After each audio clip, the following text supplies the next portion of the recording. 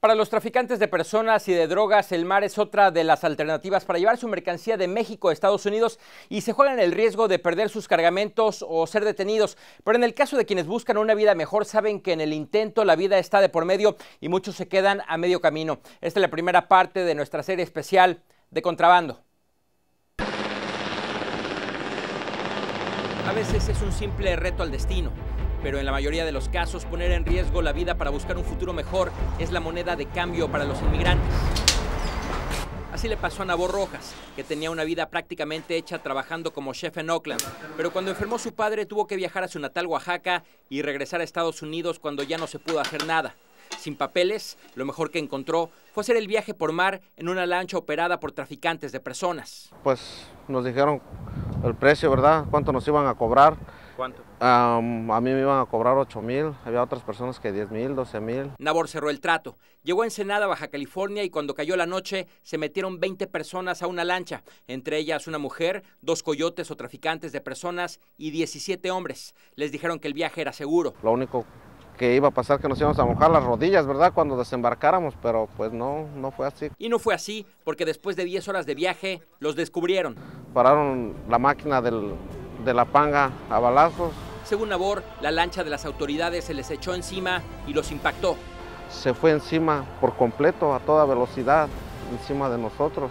Me hice a un lado todavía y clarito sentí como todavía pasó rozándome la mano. Luego asegura, comenzó una pesadilla en alta mar. Que unos sí salieron volando de ellos, unos con el, con el dedo roto, la cabeza rota, golpeados, sangre en el agua. La panga se volteó y otro inmigrante que no sabía nadar, desesperado, se agarró de Nabor. Se tuvo que ayudar de mí, me hizo tragar agua dos veces, tuve que escapar de él para, para sobrevivir.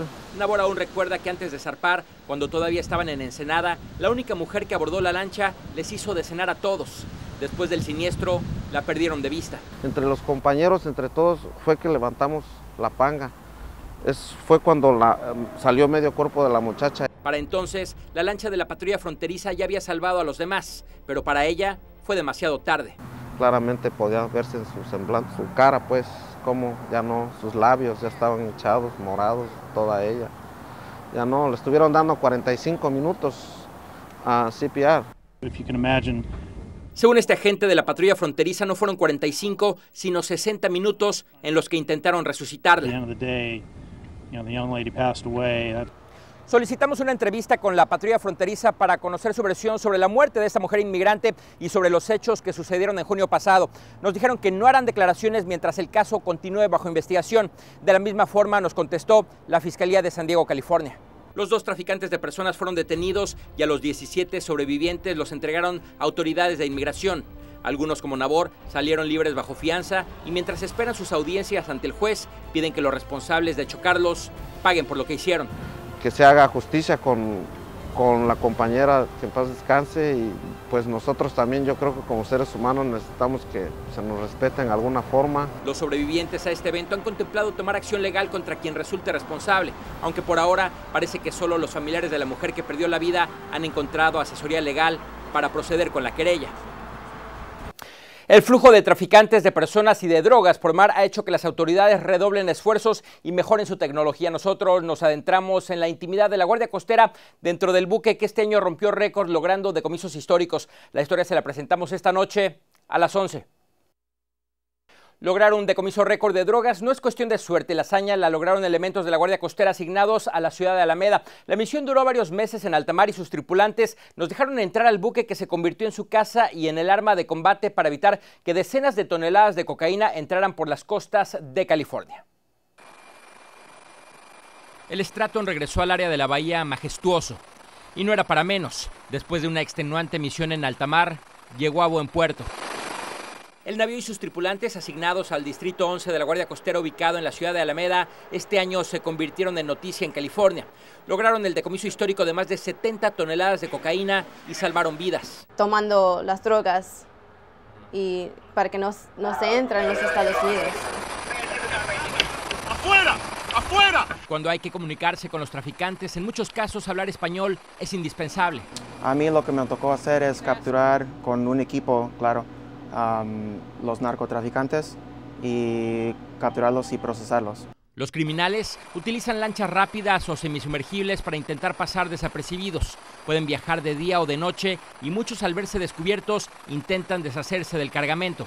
Mi labor es la, la responsabilidad de la seguridad de nuestro equipo. Yo cargo um, una pistola. Dentro del Straton hay lanchas interceptoras y Sandra Collins está asignada a una de ellas. Una vez que identifican al objetivo, en cuestión de minutos el equipo está en el agua para detener a los criminales y ella hace las preguntas. Nacionalidad, qué hacen ahora en el agua, uh, si tienen armas, cosas así.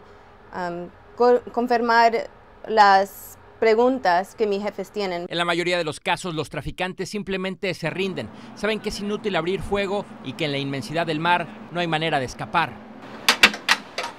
Con sus 418 pies de largo, el Straton se convierte prácticamente en el hogar de 115 tripulantes asignados a diferentes tareas, navegación, ingeniería, médicos, la cocina. Ahí adentro a veces los días se hacen largos y más aún cuando la familia está esperando en tierra. Lo más largo que he pasado sin ver a la familia en la misión fue eh, unos casi seis meses.